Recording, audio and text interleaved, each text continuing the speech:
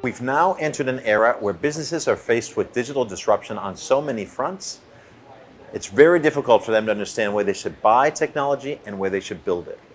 At CeBIT, we want to help you understand what the difference is between buying and building and what the advantages are across data, analytics, technology, and every piece of transformational technology that you build into your business today.